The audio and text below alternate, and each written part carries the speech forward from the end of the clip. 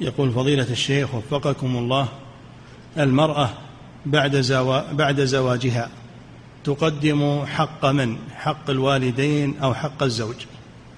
الوالدان لهما حق والزوج له حق تعطي كل ذي حق حقه نعم